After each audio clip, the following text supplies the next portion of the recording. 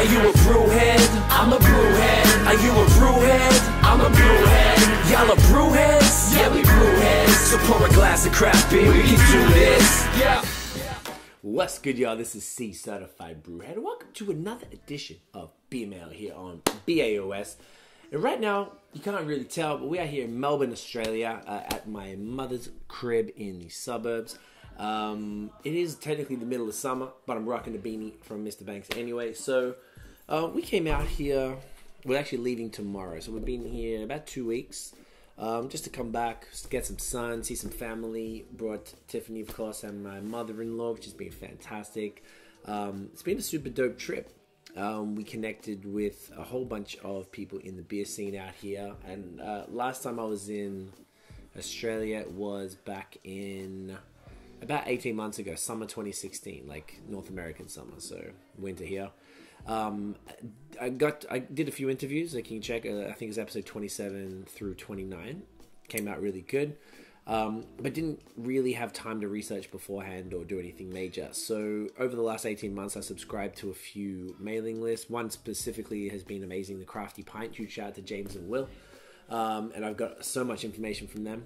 Um, so I've been studying the game. I've been following a whole bunch of Aussie uh, beer accounts on Instagram and really paying attention to the scene. So as y'all know, if you follow BAOS, y'all already know that haze is what we're about, and I really wanted to see what's up with the Aussie haze. And I had a, I was talking to a whole bunch of Australians who um, were really like, uh, you know, they're excited about the the beer that we get to drink. You know, we're lucky enough to get a bunch of stuff from across Canada and the states.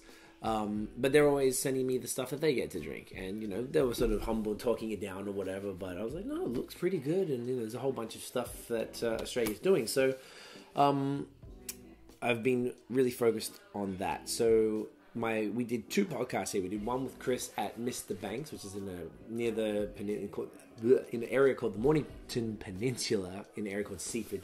Um, super dope place. Um, and then we did another podcast with Mer- Merrick at the Mill in Collingwood, close to the city. Uh, both of those were great. I got to go to a whole bunch of uh, brew pubs around the place Bad Shepherd, Stomping Ground. Um, where else did we go? And well, excuse me. The other night I went to Carwyn Cellars, uh, place in Thornbury here.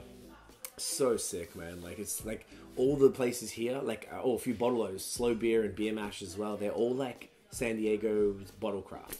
If anyone in the states knows what's up with their Canada, you won't have a clue what we're talking about because we don't have anything like that. But all these ones I went to in Melbourne, they're like a bottle shop where you can purchase cans and bottles and stuff to go, but you also have a full bar, including liquor and wine um, of pours of like fantastic, all the freshest craft stuff that's uh, that's coming out, and it's just such a cool experience. So um, I've been really checking out a lot, and I've had four different Northeast IPAs here. So the one I'm about to talk about was the first one. I had I can't believe it's not juice from the mill. I had Quiet Deeds Juice Train, and I had um, Hop Nation Jedi Juice, and um, all of them have got juice in the title. Um, but the very first one I had uh, was from Mr. Banks. Shout out to Chris for hooking me up with this beer. So I figured I wanted to do a nice beer mail video. You can check the podcast. I think it's episode 75. Um, and this is their exquisitely named uh, Northeast IPA called Wheeze the Juice. If any Encino Man fans are out there, y'all know what they're talking about. Super cool can art with the cartoon and the slurping machine and stuff. Basically, they're referring to it as an NE IPA. And funnily enough, Chris said people here call it a NEPA. And he said he gets really mad about that. And I can see why, because it's annoying as fuck. Um, but this one was a super great beer. All of them, I'm not gonna lie, like I really enjoyed all of them. Like I was impressed that uh, the Aussies could make the style without ha- a lot of them or everyone I spoke to hadn't um, really traveled to the United States or Canada and, and had much from the style. So let's see what this bad boy's saying. So this guy, he pours pretty cloudy. And this was, I think, this is the latest batch. It was only canned a couple weeks ago um, maybe yeah, about a couple weeks ago. Um, it's six point one percent, juicy, cloudy, hazy Vermont NE IPA. Call it what you want.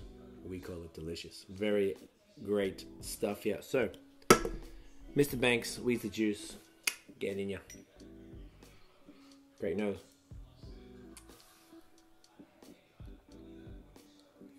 Solid, man. So, when I spoke to Merrick at uh, the mill, he didn't really understand what the chalky stuff was because he hadn't tried it, and his beer was quite chalky.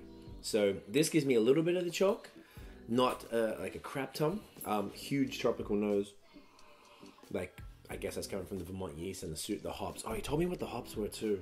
I don't know if it says it on here. It was the standard. Like I mean, dudes out here are throwing Galaxy around like it's nothing. So I'm assuming that was in there. A bunch of uh, super fruity tropical hops. Hella creamy, real creamy mouthfeel. Um, definitely no bitterness there. Um, it's super. As with everything in Australia, what I've noticed is um, the palates are very light. Everything here is much more on the chill side. Um, in North America, we get punched in the face with flavor all the time, and that's something I've uh, experienced a ton here.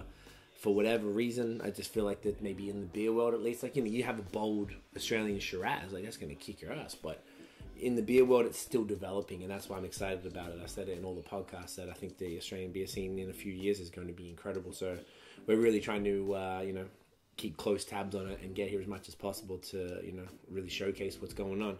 But um, yeah, definitely doesn't drink six one. Super smooth. Um, slightly like herbal. That's the word. Herbal notes in there.